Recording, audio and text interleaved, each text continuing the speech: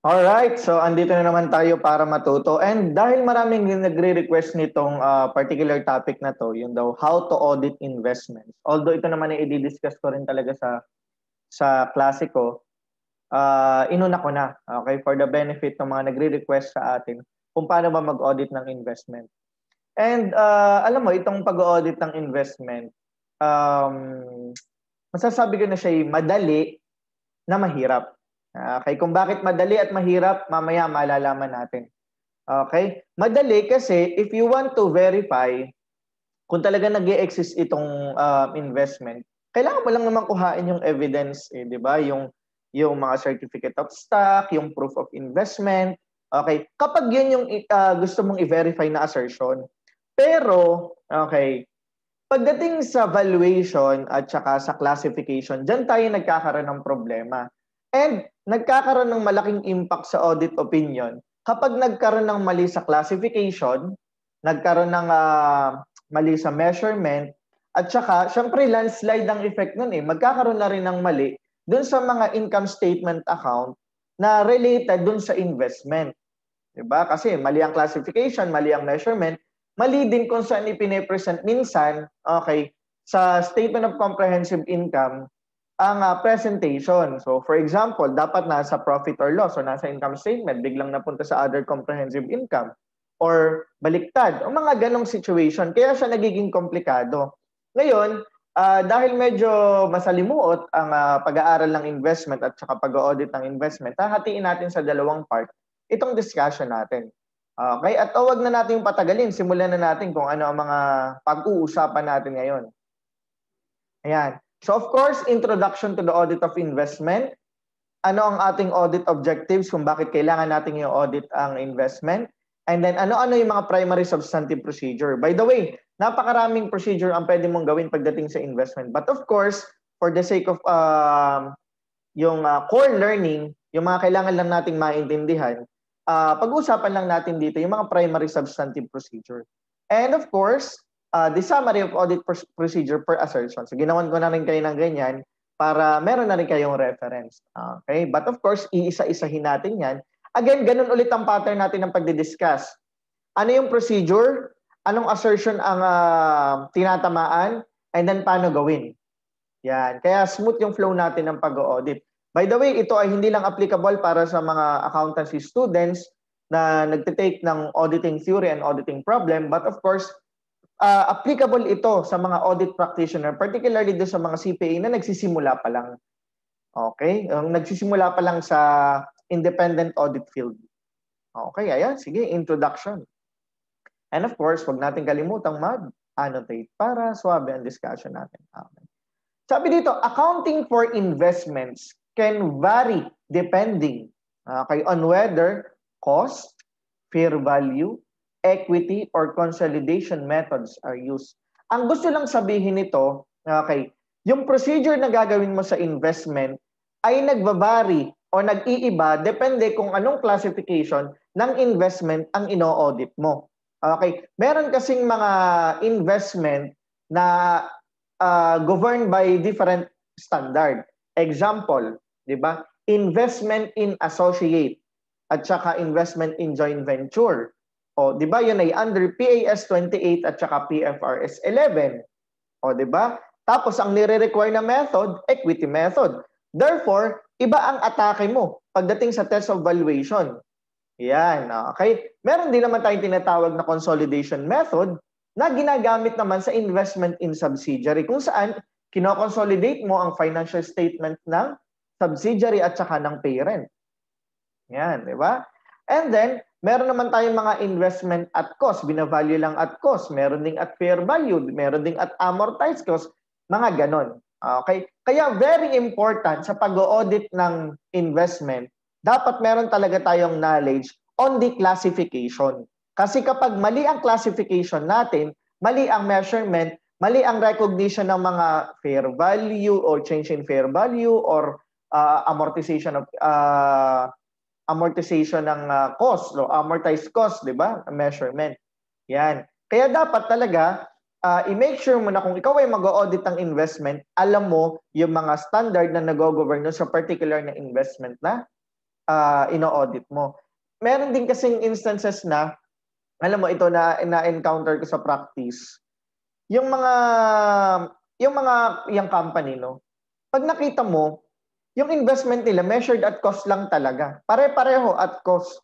Pero kung titingnan mo naman yung classification, kung titingnan mo yung business model na ginagamit at saka yung uh, intention, eh dapat pala halimbawa siya ay for trading pero binalyo pa rin at cost. Dapat naman siya ay fair value.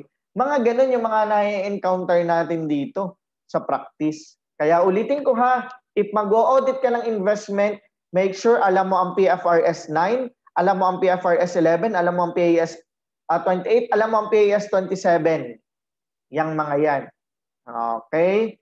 Uh, okay. Tapos sabi dito, much de- much depends on the entities uh, business model and management intention.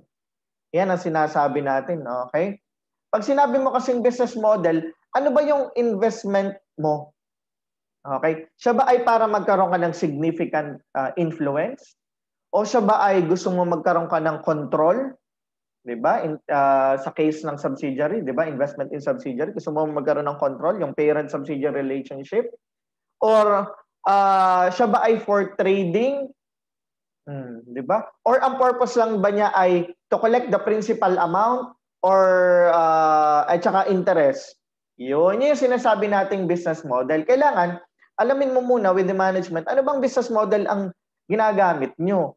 Yan ba ay yung SPPI test? Pag sinabi mong SPPI test, yung investment solely for the purpose of collection, o collection of principal and interest. Yan. O, siya ba ay for trading? Binebenta ba talaga siya? O, business model. At saka yung sinasabi nga rin na management intention. Okay? Which are assessed through inquiry. Yan. Siyempre, magtatanong ka. Okay? So, pagkatanong mo, titingnan mo ang mga supporting documents. Kumbaga, kung nag-a-align dun sa uh, inquiry.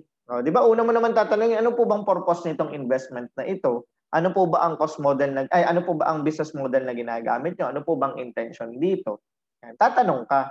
And knowledge of the client's business and industry. Yan. Kaya kapag punta mo pag pagkabigay sa iyo ng ng trial balance o ng unaudited financial statement, syempre makikita mo yung makikita mo yung mga classification ng ng makikita mo may mga investment account doon. Una mo na kaagad tanungin, okay, ano ba yung purpose ng investment, anong business model. Yan. Okay, para alam mo kung anong procedure ang gagawin mo doon sa particular na classification ng investment na nalaman mo through inquiry. Yan. Okay. So, next slide tayo.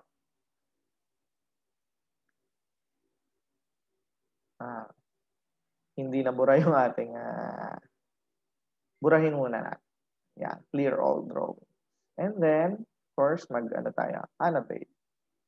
Oh. Only auditors knowledgeable about the business can determine the economic substance of an acquisition, whether it makes sense from the industry perspective and the business strategic plan.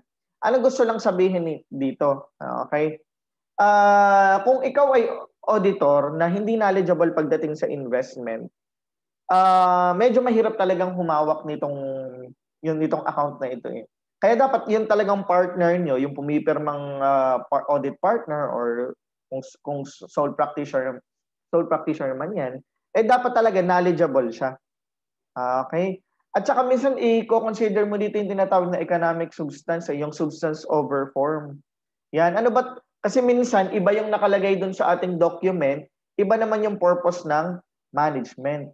So, dapat, syempre, susund- susundan natin kung ano yung purpose o intention ng management at hindi lang yung basta yung form. Ay, meron din sinasabi rito economic substance. O, kung bakit inacquire. Hmm.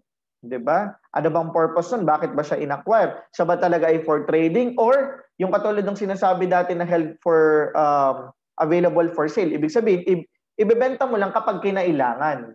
Oh, pero binili mo siya dahil pinapalaki mo pa rin yung fair value niya. By the way, yung available for sale, tinatawag na siya ngayong financial asset measured at fair value through OCI or other comprehensive income. Pero before, tawag sa kanya available for sale. Kaya nga tinawag siya na available for sale financial asset or available for sale security. uh, ang intention ng management sa kanya is kaya siya inacquire kasi nga may intention din na ibenta pagdating ng panahon kapag kinailangan. Okay?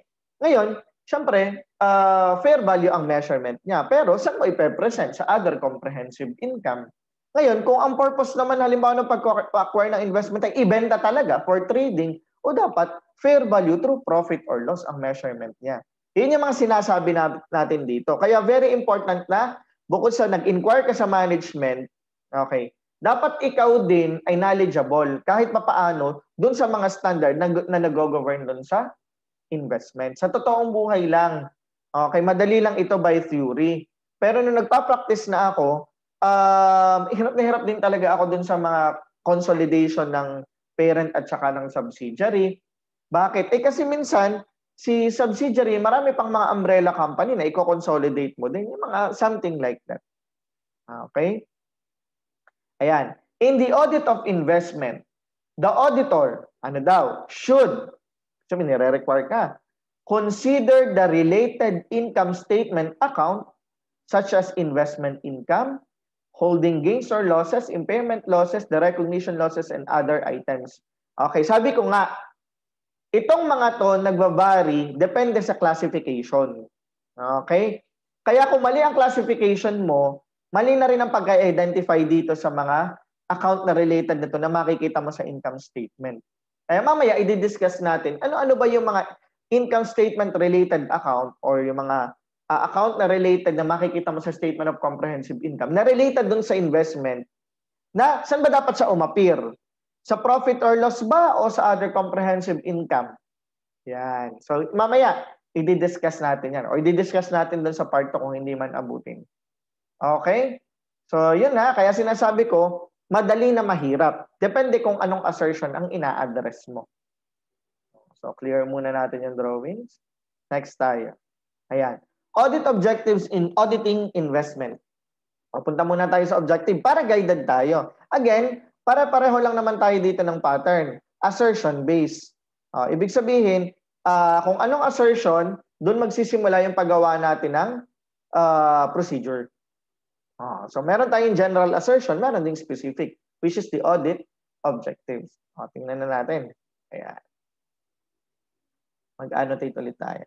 So existence, basically, gusto mong malaman kung yung naka-appear ba doon sa financial statement nila, particularly sa statement of financial position, eh investment ba talaga na nag exist or na, meron ba talagang ganun? Okay, so basically, kapag gusto mong i- i-verify yung existence, titingnan mo lang naman yung evidence, eh, di ba? Yung certificate of stock or any evidence of ownership na meron talaga silang investment. Kaya madali. Uh, okay? Sa portion na to, madali. Kaya sabi dito, all recorded investment on the statement of financial position do exist.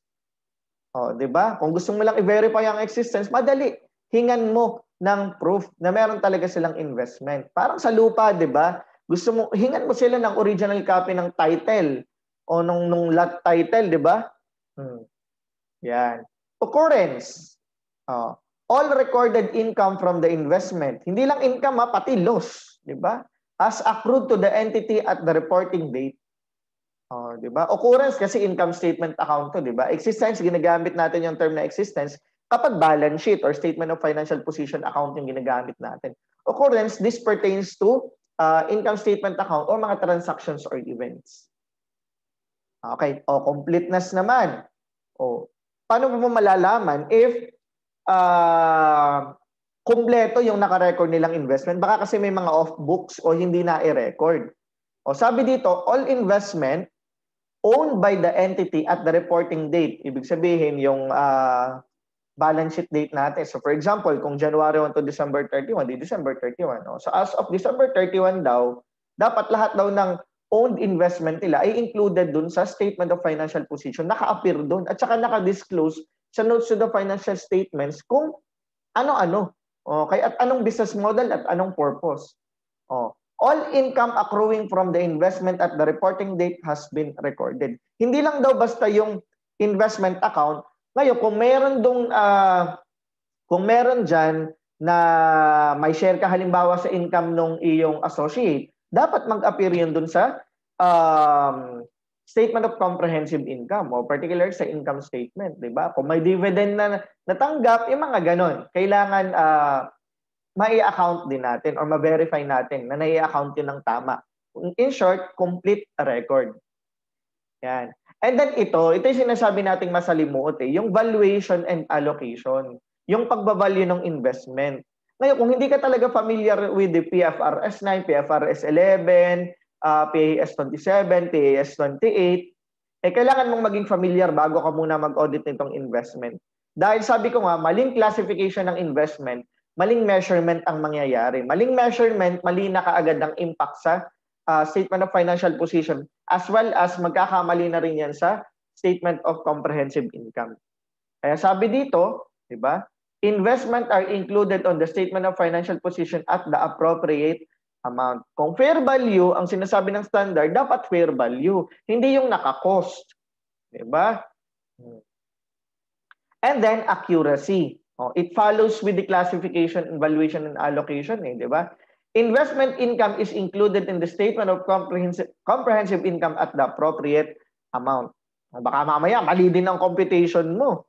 Ayan ang sinasabi natin. Okay?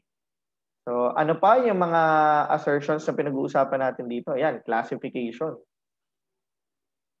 Um, sabi ko nga, ang maganda kasi ngayon sa ang maganda kasi ngayon dito sa investment, kung ano yung classification niya, yun na rin yung measurement na. Kasi yun na yung pangalan eh. Example, um, fair value, uh, sorry, financial asset measured at fair value. So kita mo na kaagad, measured at fair value. Or financial asset measured at amortized cost. So alam mo na kaagad na amortized cost siya. Yan. But of course, yun yung mga cover ng PFRS 9. PAS 27, yung investment in, ah, sorry, investment in subsidiary, di ba? Consolidation method ang ginagamit. Uh, mamaya pag-uusapan natin yan. Okay? Kaya sabi dito, income statement related items are appropriately recorded in the proper account at the statement of comprehensive income. Kaya masalimuot, ang daming da- landslide ang tatamaan, di ba? Kapag uh, maling classification.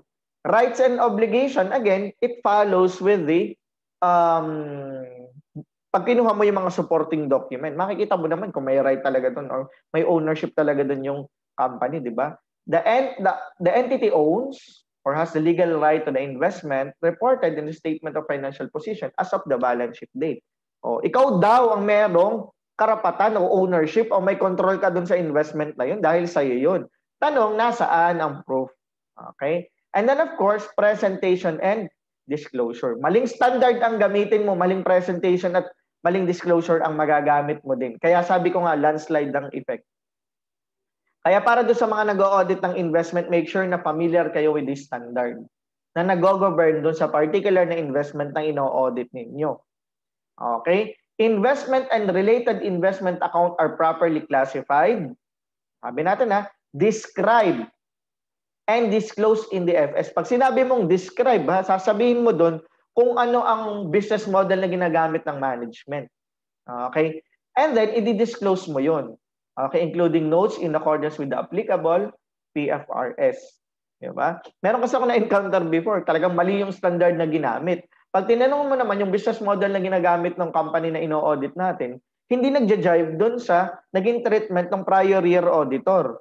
Yan, isa pa sa mga problema. Kung hindi ikaw ang dating auditor, tapos pagtingin mo doon sa audited FS ng last year, mali classification. Oh, paano yan? Dapat magre-retro effect ka kung material, di ba? All investment pledge or security interest are adequately, adequately or properly disclosed. Ito, malalaman mo naman to, yung sinasabing mga pledging, di ba? Halimbawa, nangutang ka sa bangko or sa financial institution, yung business na nangutang uh, instead of ang pinledge ay accounts receivable or inventory, ang pinledge investment. Pwede naman talaga yon. Ngayon, ma-verify mo naman yan eh. Tuwing kailan, di ba pag nagpa-confirm ka, yung ginagawa mong confirmation, actually it follows pag nagpa-confirm ka ng cash sa sa bangko, oh, makikita rin doon kung may mga naka-pledge na investment or kung ano mang securities yan. Makikita din doon. Okay, kasama yun sa mga sasagutin nila. And importante na itong mga tawag dito, itong mga investment na to, naka-disclose kung material. Okay? Okay, naman na tayong tubig. Ayan. So, alam mo na ha kung ano-ano yung mga assertion and specific audit objective na naka-align doon sa assertion. Ang kasunod natin gagawin ngayon, eh, ano ba? Ayan. Ano-ano ang mga primary substantive tests or primary audit procedure for investment? Ngayon, ang pag-uusapan natin dito, primary ha, general. Kumbaga, minimum na kailangan mong gawin kung ikaw ay nag-audit. Kung very, um, kung ang ino-audit mong investment ay very complicated, katulad halimbawa ng derivative instrument yan, or compound financial instrument, di ba? Medyo mag medyo magiging extensive ang gagawin mong uh, audit procedure. Uh, parang pag-uusapan lang naman natin dito, primary substantive. Kasi syempre, depende na rin niya kung anong company ang iyong ino-audit eh. Kung medyo complicated yung klase ng investment niya, you have to tailor your audit procedure and audit program with regards to dun sa uh, classification ng investment. Yeah. So, for the meantime, 'di ba, para maka-cope up ang ating mga students and maka-cope up yung mga audit practitioner, lalo na yung mga nagsisimula pa lang, okay? Uh, ito muna, primary substantive test.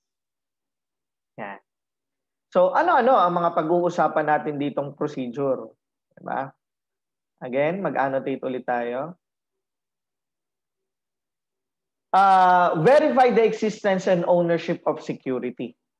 Oh, gusto lang nating alamin, um, nag-exist ba talaga? Meron ba talagang ganyang investment? Tapos tayo ba talaga ang may own nun? Yeah. So, verifying. Kasunod, we have to perform the valuation procedure. At ito yung sinasabi kong masalimuot, di ba? Dahil kung hindi ka familiar with the standard that governs a particular investment, malamang hindi mo mabe-verify yung valuation nito. Yan. And then ano pa? Investigating the current and potential impairment. Kung meron lang naman, okay? At mamaya pag-uusapan natin, ano-ano ba yung mga, actually review lang eh, di ba? Ano-ano ba yung mga uh, indicators of impairment, paano natin malalaman kung yung investment na ino-audit natin, eh kailangan nang mag-recognize ng impairment loss. O, di ba? Lalo kung material. O, yan. Kasi, sa totoo lang, eh, minsan yung client natin, hindi naman niya alam, ano ba yung impairment na yun?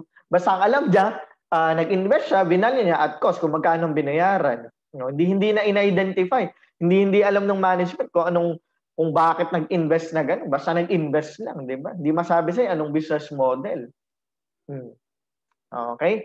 And then, number four, reviewing the board of directors minutes of meetings, si shareholders. Yan mga yan, yung mga agreements. Oh, di kasi doon natin makikita sa mga minutes of meetings ng board of directors at board of shareholders, yung mga approval na mag-i-invest sa mga company. Particularly kung ang gagawin, eh, gustong magkaroon ng control with the other corporation. Yung kat sinasabi nating investment in subsidiary. O, ibig sabihin, may control siya dun sa uh, kung saan mang company, corporation siya mag invest O kaya sinasabi nating investment in in associate, di ba? Oh. May yung, yung sinasabi nating significant influence. At meron ako na-encounter sa practice na pag titingnan mo yung percentage of ownership niya, di ba sabi natin kasi, Kapag ang percentage of ownership ay below 20%, eh, a mere investment in securities yun. So measured at cost, kung hindi naman siya financial asset uh, measured at fair value or amortized cost, parang ganun. Diba? Ngayon, may instances na mas mababa sa 20% yung ownership, pero kinlassify namin siya as investment in associate uh, because of the qualitative um, reason or because of the intention or the business model of the management. Uh, wala nga siyang, hindi, yung percentage of ownership nga niya, mababa, pero kita mo naman, may mga indicator naman na uh, meron siyang significant influence.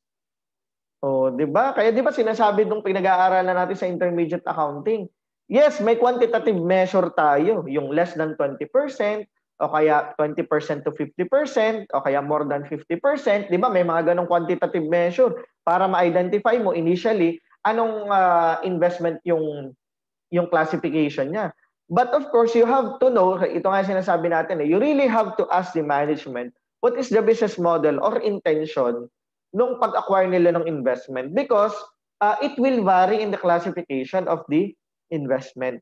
It will also vary if we have to recognize the investment or we have to reclassify the investment. Yan. Kaya sinasabi natin na. And then of course, reviewing the uh, reviewing the appropriateness of presentation and disclosure. O, maglalandslide nga yan. Maling classification, mali ang mga related items sa income statement, mali na rin yung uh, how the way you present it in the statement of financial position at saka statement of comprehensive income, mali na rin ang notes to the financial statements. And kapag yan ay material ang effect at talagang ang daming mali, it will it will really affect uh, the audit opinion that you will be giving to the financial statements. That's why we should be very careful in auditing this uh, line item in the financial statement. Okay. Ayan, so excited ka na ba na i-discuss natin to isa-isa? Siguro mga 1 to 3 lang tayo dito sa part 1. Okay, then yung mga susunod, uh, sa part 2 natin i-discuss. Okay, punta tayo dito sa verification of existence and ownership. To madali-dali pa eh. Okay. So, again, mag-annotate tayo. O, pag gusto mong i-verify yung existence and ownership, malamang sa malamang, ang gagawin mo dyan, eh, hihingin mo yung certificate of ownership or proof of ownership. Diba? So, primarily addresses the ano daw, existence, kasi pag wala naman na ibigay sa'yo na proof of ownership, ba, paano mo malalaman kung nag-exist talaga yung investment na yun? Baka makinreate lang yun dun. Diba? And then, of course, yung right. O, diba? Uh, with the proof of ownership, masasabi natin na meron kang right of use dun sa asset. Kaya nga classify, kaya mo nga siya pinresent and recognize as asset, di ba? Ayan. And then, ano pa mga kailangan mo i-consider pagdating sa verification? Ang kailangan mo ditong i-consider is whether yung proof of ownership o yung mga evidence na nagpapatunay na meron talaga silang investment na naka-reflect dun sa statement of financial position, eh ano, okay, siya ba ay hawak mismo ng client na ino-audit mo o siya ay hawak ng third party? Pag sinabi mong hawak ng third party, for safekeeping purposes, halimbawa, nasa bangko, o, di ba? O kaya nasa isang brokerage firm na andun. Silang nag-safekeeping. Uh, so, magbabari yung auditor's procedure o yung procedure na gagawin mo kung ikaw ay nag-audit nito, ay depende kung hawak ng kliyente at saka hawak ng third party. Yan. So, puntahan natin, discuss natin anong anong atake kapag letter A, anong atake kapag letter B ang na-encounter mo. Anong atake kapag both na-encounter mo siya. Okay? So, tingnan natin. Yan. So, sabi dito, ay di, syempre hihingin mo yung stock certificate or evidence of ownership held by the client. Hawak-hawak daw niya. O, nasa vault, nasa safekeeping din within the company. Anong una mong gagawin? kapag ganun. Okay. Number one, count the securities or instrument on hand and examine the evidence of ownership. 'Di ba? Bilangin daw yung mga uh, on hand din. Parang parang cash count, 'di ba? Parang parang cash lang 'yan eh, bibilangin mo eh. Okay, parang nagso-surprise cash count ka para malaman mo. Tapos titingnan mo yung evidence of ownership. Okay, kasunod, uh, ang sabi dito, ideally, do the counting at the reporting date. Okay, Ibig sabihin ng do the counting at the reporting date, um, pwede kasi, syempre, December 31, halimbawa, o hindi ka naman darating doon ng December 31. Ang gusto nitong sabihin, pwede mo kasi siyang uh, i-count before the ending okay, ng December 31. Halimbawa, nagkakaroon ka ng interim audit, pumapasok ka ng kalagitnaan ng taon, yung bago matapos ang reporting date. Pwede mo nang gawin yun doon. Okay? Anong sabi? And simultaneously, uh, with the and simultaneous with the to prevent the substitution. 'Di ba kapag magkakanda ka ng surprise cash count, um, gusto mo kasing malaman kung intact ba yung pera, 'di ba? Tapos uh, nagagamit for proper purpose. Ngayon ang ang sinasabi nito, kapag daw gagawin mo yung surprise cash count, isabay mo na daw yung pag verify ng ownership on hand, yung mga certificate on hand ng company in terms of investment. Isabay mo na daw siya to prevent substitution. At again, katulad ng pag-audit mo ng cash and cash equivalent, pag pupunta ka dun sa kliyente, say on hand nila yan, di ba? Ang gagawin mo, alamin mo muna kung saan-saan nakalagay yung mga proof of ownership. Di ba? Katulad nung sa katulad nung sa cash count. yung surprise cash count, ang unang munang gagawin, alamin mo muna nasaan mga nakalocate yung mga pera on hand nila. Kung anong mga vault ang involved. Yun ang muna mga alam, aalamin. Bakit? Eh kasi nga, baka hindi ka inform na marami pala silang vault. Ang alam mo lang isa, pero marami pala sila or dalawa sila. And ngayon, nagka-cash count kayo. Okay. Tapos, sa, sa vault 1, tapos, mamaya, pag magka-cash count ka na sa vault 2, na tsaka ka lang i-inform na meron pa palang Vault 2, eh itatransfer na dun yung cash na uh, kinount mo sa Vault 1. Kasi nga para mapagtakpan halimbawa yung misappropriation or shortage ng pera, inililipat nila. Oh, parang ganun. Ganun din yung ginagawa 'di ba sa mga cash in bank. Nagbabang transfer, sinasamantala yung clearing period. Mga ganun. Okay, therefore, ganun din dito ang gagawin mo sa investment. Unang-una mong alamin nasaan ang mga vault or kung ano mang pinaglalagyan nila yung location nung mga proof of investment o yung mga stock certificate or evidence of ownership. Yun muna ang una mong alamin. Okay, para maiwasan yung pag-transfer o yung tinatawag na substitution. Okay. Ikalawa sa mga dapat mong tandaan, eh huwag kang papayag na ang ibinibigay sa iyo ay photocopy ng certificate or stock certificate of evidence of ownership. Bakit? Eh kasi baka photocopy lang ang meron sa kanila. Yung original, wala na pala. Kasi halimbawa, na-cancel na, ibinenta na pala nila yung ibinenta na pala nila yung investment nila. Okay, di syempre, mawawala na sa kanila ang pangalan o, o, o proof of owner of ownership noon. So malilipat na sa iba. Ngayon, syempre may photocopy pinakita sa iyo, akala mo yun na talaga yung proof, di ba? Kaya wag na wag mong wag na wag kang papayag nang hihingin may photocopy. Ang kailangan mong makita ay original. Okay? Kaya nga sine-safekeeping itong mga proof of, own, of evidence of ownership o yung mga stock certificate. Kasi original copy ito. O ngayon, pinakitaan ka ng photocopy, huwag kang papayag. Parang yung sa lupa din, di ba? Pag pinakitaan ka ng, ng photocopy ng title ng lupa, huwag kang papayag. Kasi yung photocopy, pwedeng wala na, pwedeng original, wala na sa kanila, nabenta na nila. Pwedeng halimbawa, nakasanla pala yun, na kailangan ma-disclose sa notes of the financial statement. Kaya yun ha, na, napagalitan ako ng boss ko dito dati, di ba? Kasi pumayag ako na may ilang mga uh, evidence of ownership na. Sorry. Ang tiningnan ko, ay photocopy lang. So, bumalik ulit ako and then, yun nga, pina-verify talaga yung uh, tawag dito, original certificate. Eh, tama naman, di ba? Uh, okay, so wag mo kakalimutan yun ha, kapag nasa practice ka na o kung nagpa-practice ka man ngayon. Yan. So, yan ang gagawin natin. Okay, ano pa? Tayo sa kasunod. Ito. Ito daw yung mga kailangan mong i-consider kapag ikaw ay uh, nag-audit na, inspecting securities na on hand ng client mo. So, nasa kanila. Siyempre, ano daw ang mga titingnan mo? Number one, the names indicated uh, indicated owners in the security. Malamang, siyempre, dapat nakapangalan sa korporasyon yan. Kung corporation ang ino-audit mo. Oh. Tingnan mo kung sa kanila talaga naka pangalan, baka sa iba. Ano pa? The names of the issuer of security. Anong ibig sabihin ng the names of the issuer of security? Kanino sila nag-invest? At yung, nag yung pinag-investan nila yun, yun yung nag-i-issue sa kanila ng certificate. So sino yung issuer? Sino yung nagbigay ng uh, proof of ownership dito sa, sa company na ino-audit mo? Ano pa? Whether the security is a debt security or equity security, kailangan mong malaman kung yan ay bonds ba, o kaya na equity instrument. Kasi, syempre, kapag that instrument, ibang hihingin mong, uh, hindi naman ka, hindi ka pwedeng humingi ng, ng stock certificate kasi hindi naman siya equity.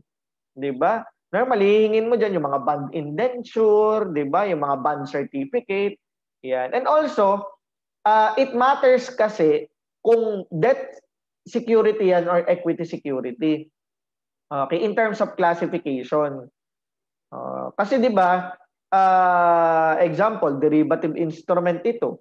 O automatic, fair value ang measurement. Ngayon, kung ito ay debt security, ang debt security, subject mo sa dalawang test. Di ba? Yung SPPI test, yung sinasabi natin, ito bang instrument na ito ay for the purpose of solely ang collection collection lang ng principal at saka uh, or payment lang ng principal at saka payment ng interest o meron pang uh, ibang purpose, di ba? So magbabari yung measurement at saka classification. Either siya ay magiging uh, at default fair value o pwede pala siyang um, fair value true profit or loss or amortized cost or at OCI, yung mga ganon. Okay, so mamaya, meron ako ipapakitang uh, flow sa inyo ng classification ng investment na naka, nakahati sa debt or equity instrument man yan. Kaya dapat alamin mo talaga kung anong klaseng instrument or security security itong ino-audit mo. Okay, number four, the, uh, the certificate numbers on the document. O, parang, di ba, parang sa OR may pre-num pre-numbered siya, yung certificate number. Okay, kasi yun ay unique. Uh, hindi na uulit. Kaya dapat alam mo. Kasi isa sa mga indicator yan ng proof of ownership. Di ba? And then evidence, any evidence of pledging. Kung isinanla daw ba or restriction on disposal, disposal shown on the certificate. Anong ibig sabihin nun? Evidence na baka ito ay naka-pledge. Halimbawa, may utang nga kay bangko si company na ino-audit mo. Tapos, ang naka-collateral ay investment. Oh. Ngayon, kailangan mo makita yung agreement. Oh, 'di ba? Kung doon sa loan agreement naka-state doon na gagawing pledge or collateral ang investment, makikita mo naman doon. So basically, ang gusto nitong sabihin, tingnan mo yung uh, loan agreement kasi kaya nga nagkaroon ng pledging, bakit sinanla? Eh malamang nangutang. 'Di ba? O ay nasa ng agreement na kailangan talagang mag-collateral. Ikalawa sa mga kailangan mong tingnan yung restriction on disposal. Ibig sabihin, bakit hindi pwedeng ibenta? Bakit hindi pwedeng i-dispose? Oh, 'di ba?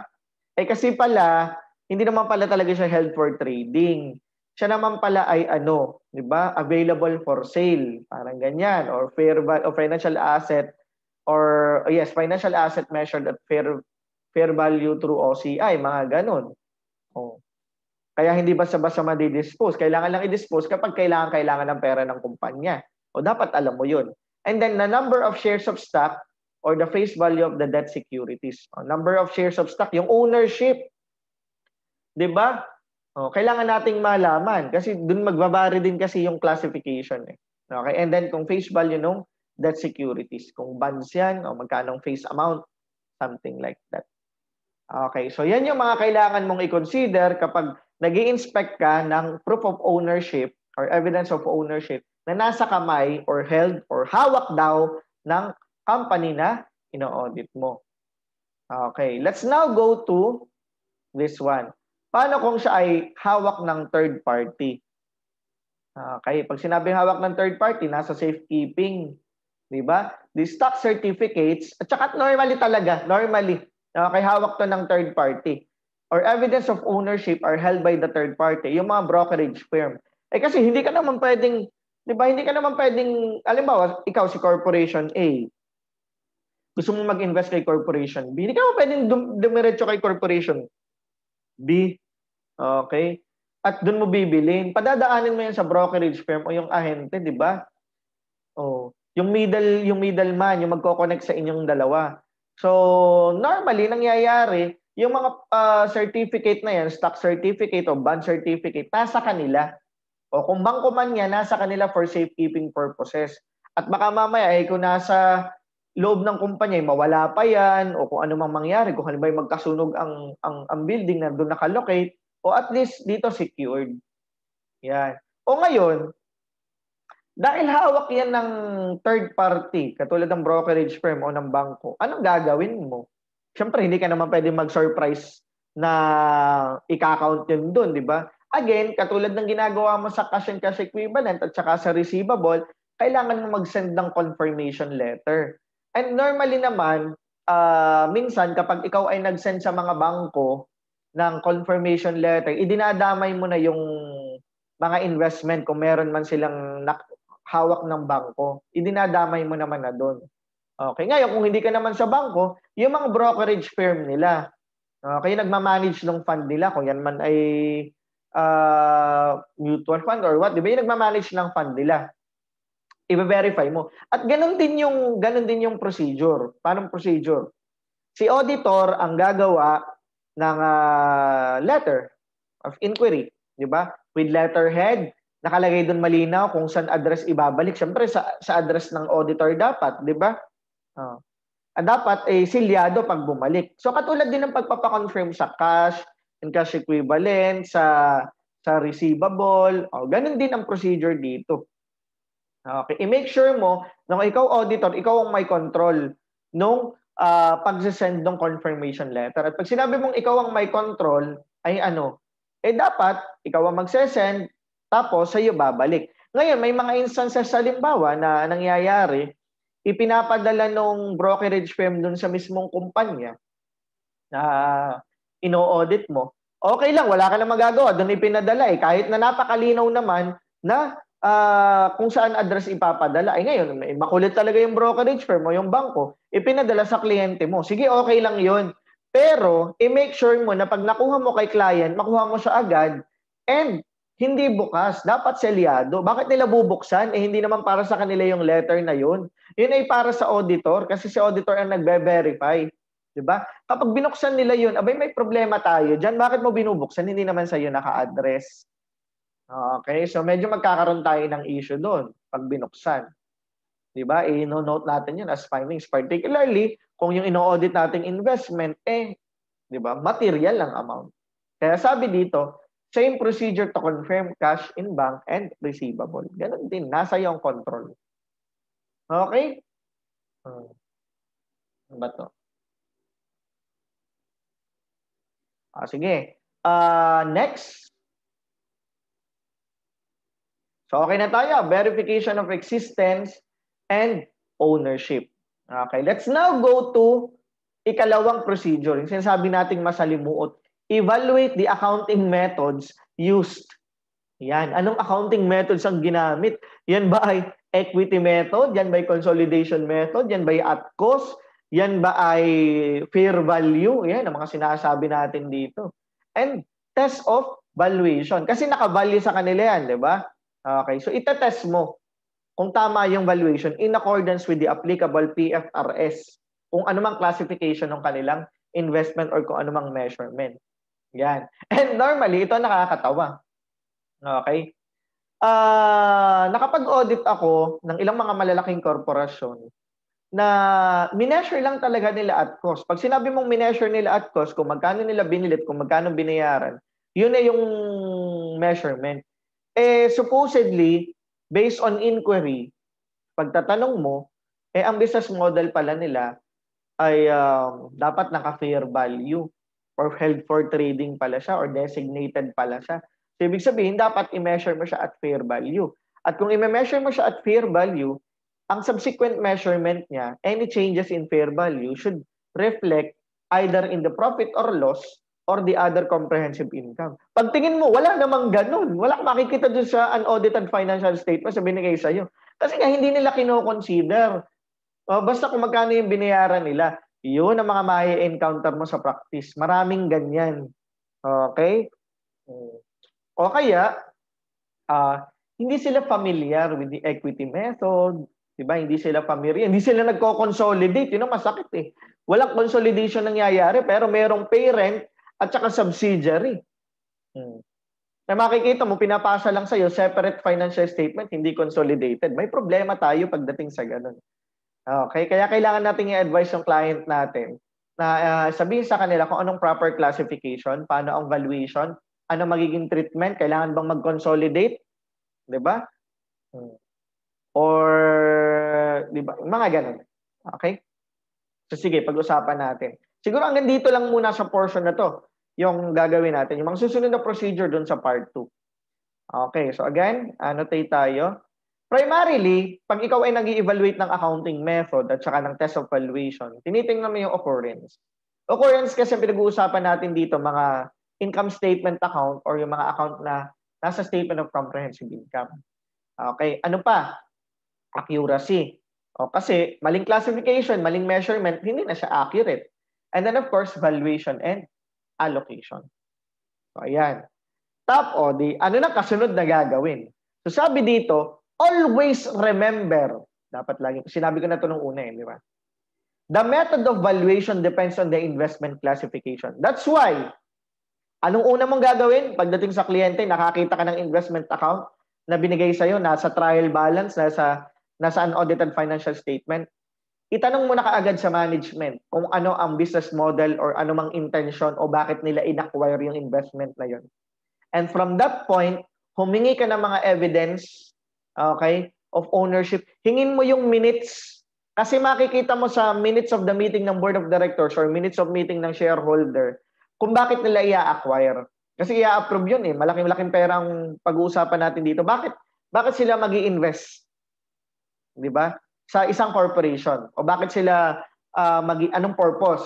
Yan. So kung malaman mo yun, malalaman mo na yung classification. Pag nalaman mo na yung classification, malamang alam mo na kung anong standard ang gagamitin and then based doon sa standard, alam mo na kung paano siya i-measure. Yun, ganun ang flow natin ha. Kaya kung halimbawa, ang na-identify mo number one, investment in associate and joint venture, which is under PAS 28 and PFRS 11. Diba? Ngayon, paano mo masasabi na siya investment in associate?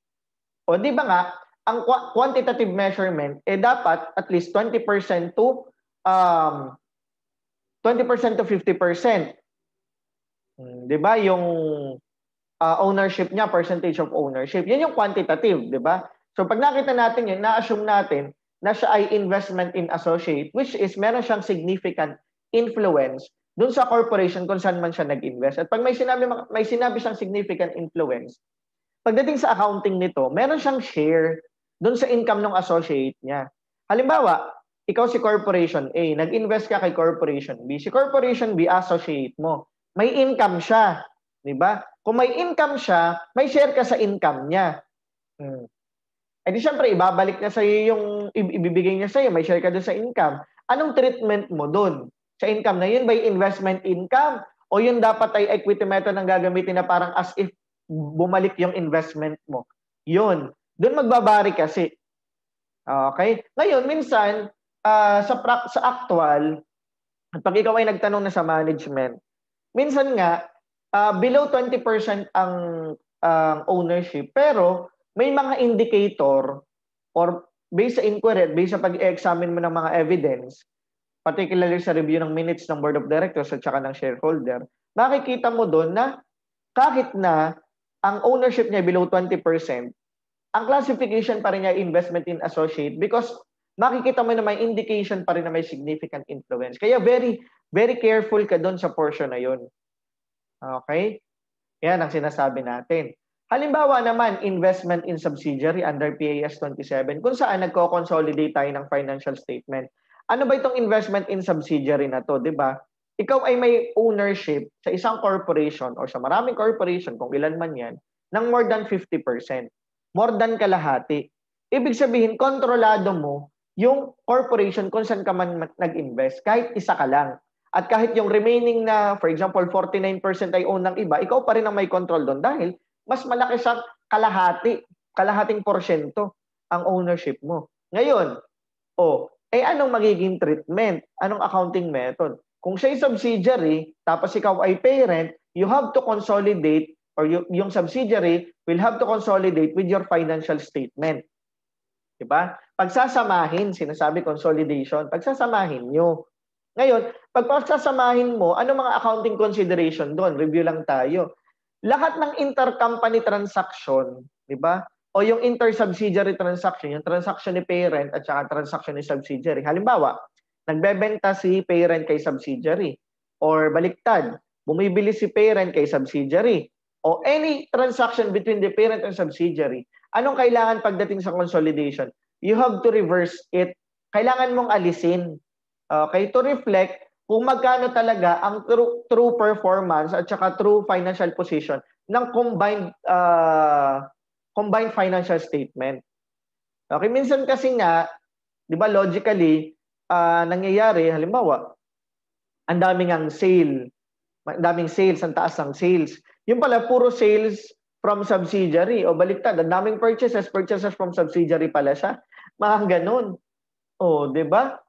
So, para maipakita, logically, para maipakita ang true financial position at saka true financial performance of the business, including the cash flow, o kailangan mong i-reverse yung mga transaction, yung dalawa. Yung ganun ang ginagawa sa consolidation. And tatandaan mo, pagdating sa investment in subsidiary at ikaw ay parent, yung kliyente mo, parent, di ba? Ay di syempre magpe-prepare ka ng separate financial statement. Ibig sabihin, FS lang ni parent. Tapos magpe-prepare ka ng consolidated financial statement. So ibig sabihin, FS ni parent at yung subsidiary pinagsama. O ifa-file niyo yan sa SEC. Very particular kasi sa SEC dun sa consolidated FS. Hmm. Ayan, kaya hindi talaga pwedeng magkamali pagdating sa consolidation. Maingat na maingat tayo dyan kasi ina-examine yan, di ba? Yan. Ngayon, kung halimbawa, yan naman ay, yan naman ay financial asset. Di ba? So kung financial asset yan, anong standard na nag-govern dyan? PFRS 9 at saka PAS 32. PFR, uh, PAS 39, wala na yun. Pinalitan na ng PFRS 9. Oh. So kung amortized cost or fair value through profit or loss or through OCI, Oh, governed by PFRS 9. Di ba? So, ito yung mga sinasabi natin. That we have to evaluate the accounting method based on the classification. We have to evaluate the, or we have to test the valuation based on the classification. At paulit-ulit nating sasabihin na paano mo malalaman ang classification, ay di syempre magtatanong ka nga sa management with corroborative evidence na nagpapatunay na yun talaga ang business model or intention 'di ba? O purpose nung uh, investment na 'yon. Minsan kasi hindi uh, hindi na kasi ginagamit yung word na intention, eh. business model talaga yung ginagamit. Kasi yung business intention pwedeng magbago. Yung intention ng management pwedeng magbago, pero yung business model hindi nagbabago. That's why ito ay in accordance with Sir Jekyll based sa seminar na inatinan ko sa kanya, basic financial instrument, you have to look at the business model of the company because hindi nagbabago yung business model. Before kasi kino-consider nga yung intention. Okay? Eh, ang problema kasi pagdating sa practice, eh pag tinanong mo, ano po yung business model na ginagamit nyo? Abay, hindi alam. Ay, paano yun? So, kasi nung magagawin, bakit po kayo nag-invest diyan? O ay, di syempre, ang ibibigay sa yung reason, intention o purpose. O, eh, yun ang nakuha mong information. So, yun ang magiging basis mo kung anong classification ng investment ang gagawin. Okay? So, ito review lang ha, brief review ng financial asset classification. Financial asset classification lang to ha. Okay, under PFRS 9. Oh. Credit of course uh, sa presentation ni Sir Jekyll kasi doon ko to kinuha during the PICPA seminar. Okay. Kung mapapansin mo kanina doon sa pinag-uusapan nating procedure, pinapa-identify sa'yo, di ba, kung ano ba yan? Debt instrument ba yan? Equity instrument ba yan? So dito sa portion na to tatlo eh. Siya ba debt instrument? Equity instrument or derivatives. Okay? So kung ma-classify mo kasi debt instrument, equity instrument, derivatives, doon na mangyayari yung valuation. By the way, kung gusto mo malaman yung detalye, kung ano ba yung debt instrument, yung equity instrument, okay, punta ka lang doon sa YouTube channel ko. Meron akong discussion under financial and financial accounting and reporting na playlist na nagdi-discuss ako ng basic financial instrument, na credit kay Sir Jekyll, yung presentation, debt instrument at saka equity instrument. Okay, hindi natin yan i-discuss dito in detail kasi pinag-uusapan naman natin dito pag-audit. Kung nga procedure. Okay, yung sinasabi dito, di ba, dadaan daw sa business model test kasi ang debt instrument. Kung ano ba siya, held to collect on the contract uh, to collect contractual cash flow or held to, held to collect contractual cash flow and sell. Yan. Yung sinasabing business model test. Ano ba ang purpose nito? Uh, Aya ba nag-invest yung company? Ah, sorry, ano bang business model ito? Para lang ba halimbawa, uh, makakolekta ng principal amount at saka interest. Kung, kasi di ba pag bonds, ganun eh. Oh, held to collect or contractual cash flow. Pero kung siya ay held to collect, contractual cash flow, tapos ibebenta mo din, so may trading portion na kasama, oh, di ba? Magma-matter. Ngayon kung dito lang sa portion na to, okay, hindi na nag-classify, nag-qualify doon sa business model, sana daw ang punta niya? By default, classification, fair value, true profit or loss. O, ngayon, halimbawa, pumasa sa business model test, anong kasunod na tanong? Yung number two. Is it solely for payment of principal and interest test? Okay? If no, sabi dito, may fair value option ba? Only in the case of accounting. If no, amortized cost. Di ba? If yes, fair value uh, through recyclable OCI. Yan. Recyclable OCI, ibig sabihin nun, pwedeng ma-transfer from OCI going to uh, profit or loss, yung any change in fair value. Okay? Ngayon, kung hindi pumasa dito, again, by default, ano daw? Fair value through profit or loss. Kung by default talaga, fair value through profit or loss. Ang nangyayari. Okay, ngayon, kung equity instrument naman, di ba? Oh. Meron bang trading intention? Ang intention by i-trade. Okay, ibenta talaga siya. Okay, if yes, ano nangyayari? Fair value through profit or loss. Kasi trading eh, di ba? Ngayon, without trading intention, no daw, di ba? Oh. Is it fair value through non-recyclable OCI? Ibig sabihin, forever na daw siyang naandun sa OCI, any change in fair value. If yes, paano mo i-measure? Sabi dito, oh, fair value through non-recyclable OCI. Kasi meron mga items sa other comprehensive income na pwedeng malipat sa PNL. Depende kung anong ang classification. Ito yung sinasabing eh, no, fair value through recyclable OCI. May mga ganyan. Meron din naman na forever na, na nasa OCI. Hmm. Okay? If yes daw, hmm, through non-recyclable, ito. Ngayon, uh, fair value of non-recyclable OCI, sabi niya no din. O, by default, punta ka kay fair value through profit or loss. Pwede pinag-usapan lang natin dito financial asset under PFRS 9 ha? or financial instrument. And then pag derivatives, automatic kasi ito, ito held for trading, diretso sa fair value through uh, profit or loss. Okay, kaya importante, i-identify mo ano ba siya? Derivative instrument, equity instrument, debt instrument. Doon ka magsimula. And then, after classifying that, then ask yung business model. Oh kung debt instrument ha. Ngayon, kung equity instrument kasi at saka derivatives, hindi na kaagad pumapasa dito sa business model. Kasi pag equity instrument, ang intention talaga i-trade. Traded, traded to eh. Sa stock market eh. ba? So, kapag, kapag trade yan, o, di ba, by default, PNL yan. Hmm. Wala naman siyang intention to collect principal payment at saka interest eh. Dahil hindi naman to bond instrument, eh, equity instrument. Yan ang sinasabi natin. Okay, kaya kung gusto mong maintindihan talaga, punta ka doon sa discussion ko under Financial Accounting and Reporting playlist sa YouTube and then panoorin mo yun. Nandun yung detalyad, detail, uh, details nitong discussion na to. Okay? Ayan. So, isa nilagay natin dyan for the purpose of review. Ayan. Okay. So, itong pag-evaluate ng mga methods, yung review ng method natin, uh, i-discuss natin sa part 2. Okay, for the meantime, ikakat na muna natin kasi masyado nang mahaba. So, uh, standby sa part 2 kasi i-discuss na natin yung investment in associate and joint venture. Anong accounting method sa kanya and then what to do. Okay, anong audit procedure ang pwedeng gawin. Okay, so thank you very much for listening. I hope you will um, visit the part 2 of the discussion. Yeah.